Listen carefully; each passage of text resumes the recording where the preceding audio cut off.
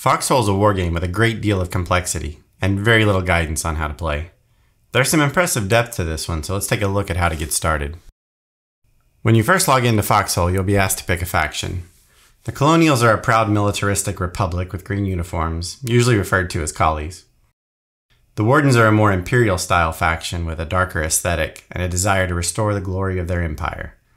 Or blueberries for short. I think the art generator might have picked a favorite. Oof. Now, once you choose a faction, you'll be locked into that faction until the current war ends.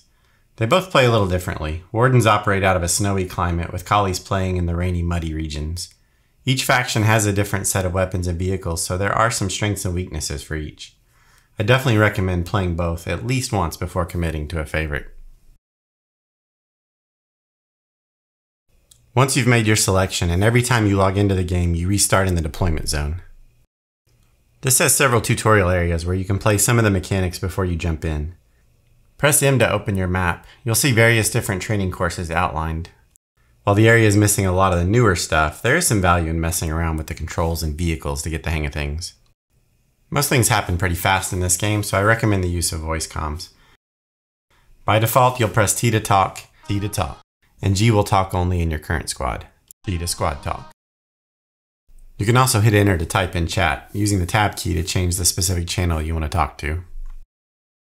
You can create a squad on the side over here, give it a name, and make it public or private with the little lock icon. The squad is like a small group, only you can actually be a member of several squads at a time.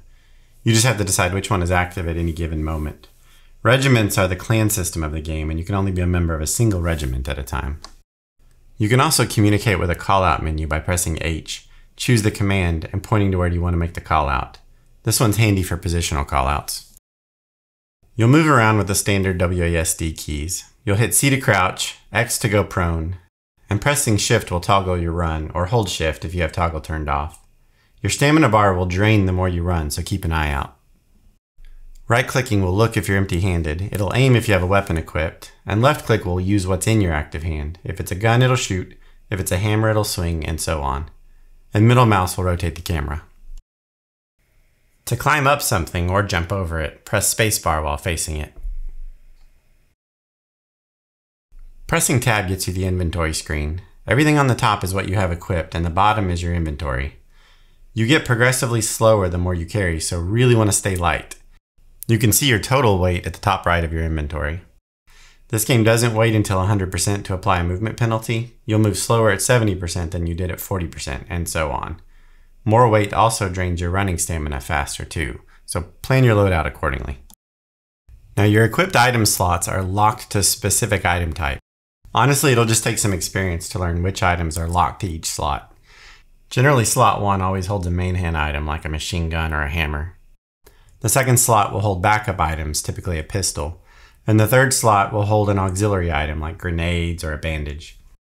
And you have this attachment slot that always attaches to the item in slot 1. This is usually a bayonet or a grenade launcher attachment. You're going to actively equip those slots into your hand by using the relevant number key. So hit 1 to equip that hammer, 2 for the pistol, and 3 for whatever might be in the third slot. Hit the key again to holster that item. And hit the F key to equip your attachment onto your slot 1 item. On the top right, you'll find your gear. The uniform you wear changes the rules for your kit. They typically change the weight of items relevant to that role, and allow items to stack that might not have otherwise.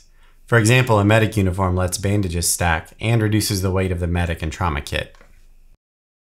There are utility items that go in these other slots, but we'll go over those in a bit. Now, anytime you approach something you can interact with, you'll see a context command show up in the bottom left corner.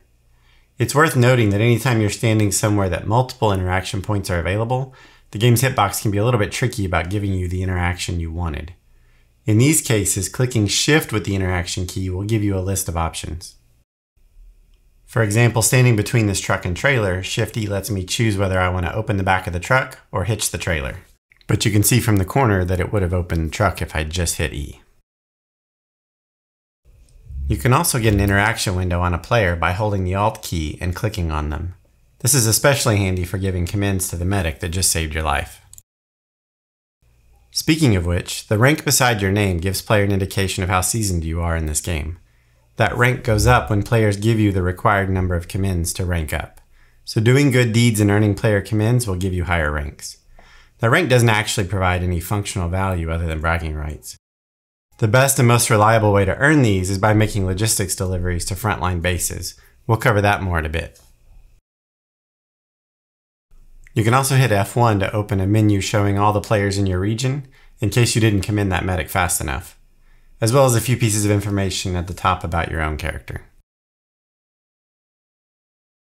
From the deployment zone, you'll want to follow the deployment directions on the road or find the deployment point on the map. And once you reach that area, you'll see that interaction command we talked about.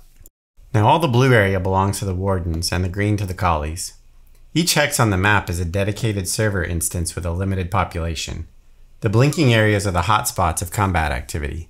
Pick one of these and preferably one that doesn't have a queue. Once that hex server is full, you'll be put into a queue to join, and anyone with a truck full of supplies at the border wanting in will get priority over others, possibly bumping your position in line. Once you deploy, you'll have access to more information on your map. The intelligence icons show you where soldiers, vehicles, and combat buildings are located. This only updates when you interact with a base. You can get this information to update constantly while in the field if you're carrying a radio. So it's important to have this radio if you're delivering frontline supplies or commanding a combat vehicle.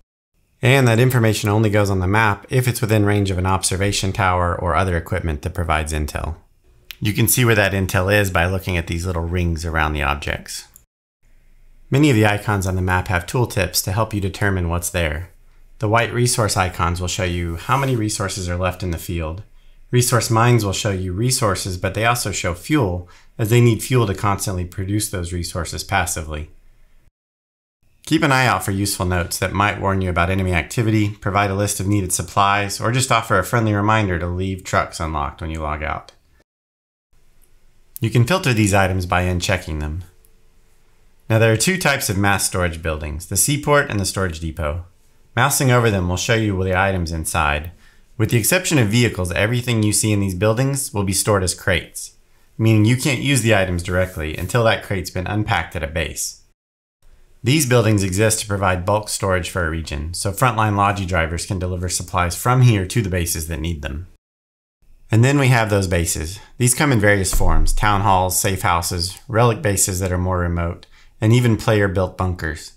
This is where those crates get unpacked into usable items, and this is where you'll equip yourself for the fight. The bases are colored according to which faction controls it, and white structures are either neutral resources or destroyed buildings. To take over these regions, players have to destroy the enemy building and then rebuild it for themselves.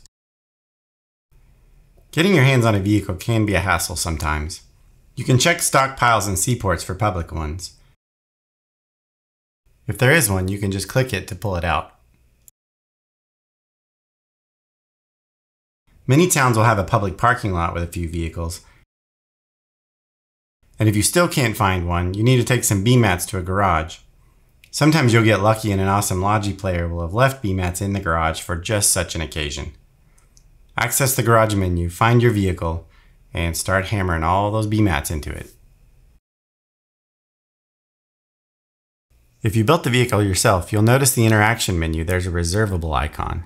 This means you can actually submit this vehicle to a personal stockpile. Very handy for keeping vehicles in a town you operate out of every time you play. When you are done with it, you can leave it in one of those parking lots, just make sure it's unlocked. Or you can submit it to a stockpile with the submit button. All the fuel in the vehicle will be lost and it must be fully repaired before doing so. When you enter a vehicle, you can hit the Z key to change seats, or hit Control and a number key to switch to a specific seat. One is usually the driver, two is the main gunner if the vehicle has one, and they vary after that. You can also get out and interact with the vehicle, change its fuel type with the button, which will refund the current fuel back to you. And to refuel, just equip the can, hit 3 to pull it out, and left click toward the vehicle to fill it. You can also lock the vehicle with the L key. You can do this either from the interaction zone or from inside the vehicle. This keeps others from messing with your vehicle, but there's a time limit. Once you've left the vehicle for a bit, it can be unlocked with a wrench. Most of the time you pick up a vehicle from a seaport or a storage depot, a friendly Logi player will have left a large liquid container full of diesel. From the truck interaction menu, click the refuel from nearby container button, and a hose will drop out and fuel you up. Many vehicles also have a special interaction key. This is usually F, and in the case of this boat, it'll open the ramp so you can offload. Alright, you've made it to a front line. Now the front does occasionally have that angry armchair general condescendingly yelling at everyone to do what they say and do it right now. Just try not to take that idiocy personally. Sometimes they have good advice just delivered with a troll's voice. This is a competitive combat game after all, and you know how mature the internet is. I will say that this game has a far more cooperative community than most online games I've played, and your interactions are generally going to be more positive than the average MMO. But since you can't put more than 20 people in a room without at least one troll, they will be here. Alright, back to shooting the baddies. This game doesn't really tell you what you need to be doing. It's a non-stop trench war, so for starters, I would just hit the front line with a basic infantry kit and start getting a feel for the game. Once you get a deeper understanding of the game, you start learning what types of activities move the needle on the front line and how you can help push that goal. Access the base you spawned at using that context clue we mentioned. Anytime you get to a new base, make sure to use the home key to set your spawn point so that this is the point you come back to every time you die. Now let's see what weapons are available for the fight. On your first deployments, I would just take a rifle and maybe two clips. You're going to die, and the more you're carrying, the more supplies are lost when you do. Grab an item out of the stockpile by clicking on it. If you grab something you didn't want, you can right click it and submit it back to the stockpile. Make sure the ammo you're grabbing is the right type for the gun you're using. It's also a good idea to carry a single bandage in case you're hit without a medic nearby. And just leave your standard infantry uniform on for this run. There are categories of items at the top of the stockpile, ranging from small arms, utility, medical gear, and so on. In the medical tab, you'll see an item called soldier supplies. In the game, we just call them shirts. Each time you die and respawn, you'll consume one of those shirts. That's a limit on how many lives can be lost out of this base, and you'll rely on players to restock that supply. Once you have what you need, don't forget to open the inventory and equip everything you grabbed by clicking each one of them. And remember, hotkeys 1 through 3 will unholster those items. So make sure you pull out any guns, hit R for reload to load that first clip. You can also submit your starting equipment back to reduce your carry weight. Either right click each item that you don't want, or click this button to submit the whole starter kit back. As a side note here, reloading your guns discards what was already in it, so you'll lose those rounds if you reload with a half clip still in. Sometimes it's better to lose three rounds than be caught reloading in a firefight, but don't take one or two shots and reload like you would in Halo. Anytime a town is taken or a new bunker is built, there's a list of upgrades that have to be unlocked before they're usable. These upgrades are unlocked by each player that votes for one, so make sure to vote anytime you access a base or a bunker that isn't fully unlocked. Okay, rule number one for leaving the base. You drain less stamina by running on the road. You also die by running in the middle of the road. Any and all vehicle drivers will run you over. Don't be in the middle of the road. Your view distance in this game is sometimes the same distance it takes to stop a truck at full speed. So even if the driver tries, they may not be able to avoid hitting you. And many drivers won't care. This is especially true for tanks. That tank may look like great cover from the enemy, but that tank driver is not going to risk his expensive tank to save the shirt that's lost when he runs you over. He will run you over if he needs to back out of a dangerous spot. Never be behind a tank. And don't take it personally when they do run you over, it was probably worth it. And I apologize for the lack of tank crushing footage. Usually there's plenty of that to go around, but the war just changed and tanks are not unlocked yet. Now when you aim, there's a small reticle that closes in over time. The tighter that reticle, the less randomness that goes into the direction of the bullet. That reticle tightens faster or slower depending on the weapon you're using.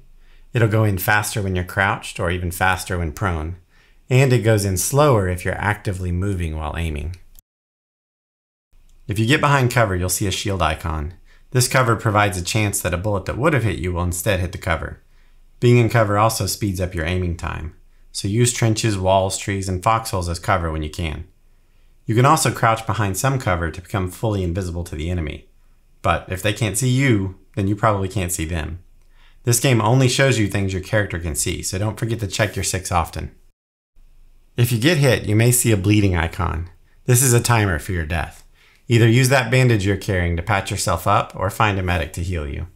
If you did grab that bandage, just hit 3 to pull it out and left click to start applying it to yourself. You can build many structures in the game. Pull out your hammer and hit B to open the build menu. The first tab is the defense menu, and it'll tell you what materials are needed to build each item. The observation tower is a very handy one for making sure information is available on the map. When placing it, you can hold the right mouse button down to rotate. And the pillboxes provide an AI controlled defense that can fire at the enemy even when you aren't around. For this AI to be active, it needs to be within 150 meters of a supply base. You can tell if it is while trying to build it. Now when you're approaching AI, you know it's active when there's a full flag flying above it. A partial flag shows that the AI has been disabled, most likely because the base controlling it has been destroyed, or someone just built it out of range of a base. Now one thing that's really easy to miss is that you can actually enter these pillboxes with Q and fire from them. It's a great defensive position on a front line. The Base tab in the Build menu lets you build a few utility items like mobile cranes and construction vehicles.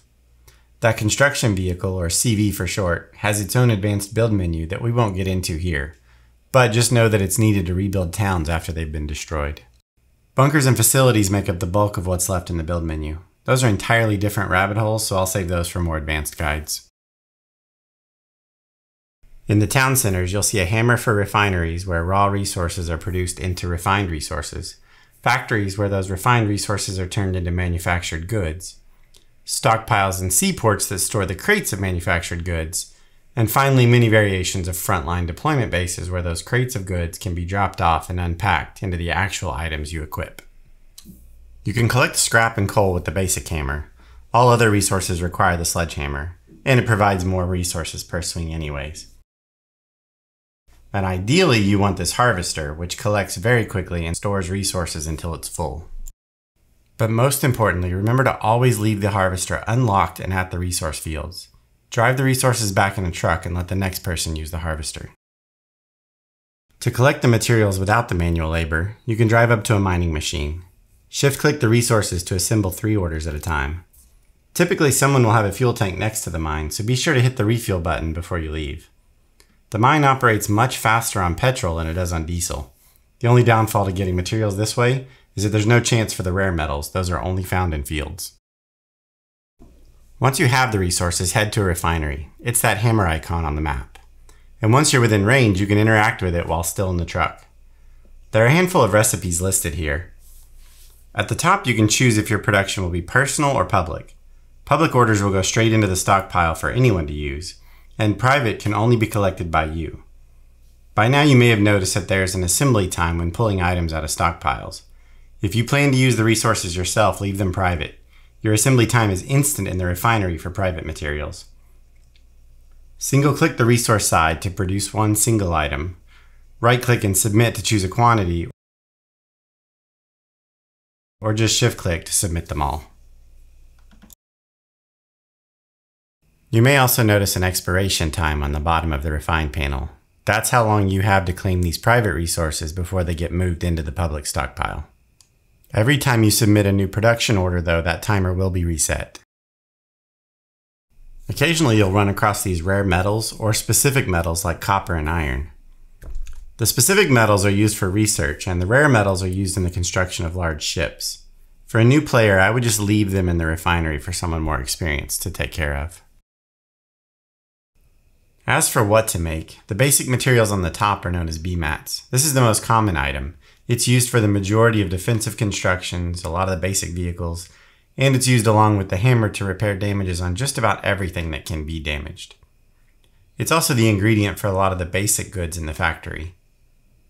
Next is diesel, and it's the basic fuel of the game. You always need plenty of that. Explosive materials, or EMATs, go into the basic grenades and infantry explosives. All three of those are made from scrap. Next is refined materials or RMATs, and those are made from components.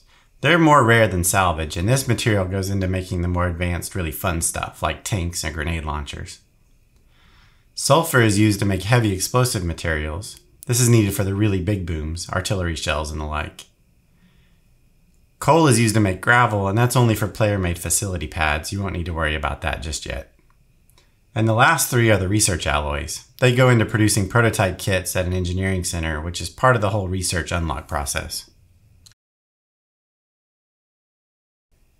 Okay, now that you have some refined materials, find a factory on the map. We're going to take them there. In this case, we're going to make some shirts. Change to the category and mouse over the item to see the cost. Then choose how many you'd like to queue up. You'll notice the items showing up on the right side. I can see the total cost and time needed to produce the order. You can also make this order personal or public, but you can only queue up four items in this category. For efficiency, it's ideal to queue up items in several categories. Your order may also be queued behind someone else's, which may bump up the time a bit. To take delivery of your order, just click the arrow and move them into the truck. And since I had a few materials left over, I'll leave them in the building for the next person to use. Now you can deliver those to a storage facility or seaport. Keep in mind these items are in crates of multiples and are not currently usable. When you drive up to a storage building, you can once again choose how to store the crates. If you want to make these private, you'll need to click the plus icon to create a new private stockpile. Once you do, you'll find it shows up in the drop-down. Now all you got to do is right-click to submit your items to that stockpile. Keep in mind, once again, these pull a lot faster from private stock than they do from public. And just like the refinery, there's a time limit on how long you can keep these private before they go public. But as long as you get back before the timer expires, you can refresh that timer with this button. And now the fun part, delivering these to a frontline base. Make sure you have a radio so you can check for intel that might show you enemies on the road. Choose a path that is safe. You don't want to lose all this hard work. And keep an eye on the map often. People will leave notes if roads are compromised, and the front might even move before you get there. Once you pull up to the base you're dropping off at, you can submit them all and the crates will automatically be unpacked into individual items. Now this is typically where you get your commands. Anyone spawning from this base will see the message that you made the Logi drop, and they get an automatic easy click option to commend you for it. Now the logistics side of this game goes much deeper than we've covered, but it's way too much to pack into this video. Keep an eye out for an advanced Logi video to dive deeper into this topic. Now, I know this guide was like drinking water from a fire hose. This game has a lot of information and can be pretty complicated, but it's pretty damn interesting as well. And it has a lot of depth. At any rate, if you made it this far, hit the like button, and happy hunting, soldier.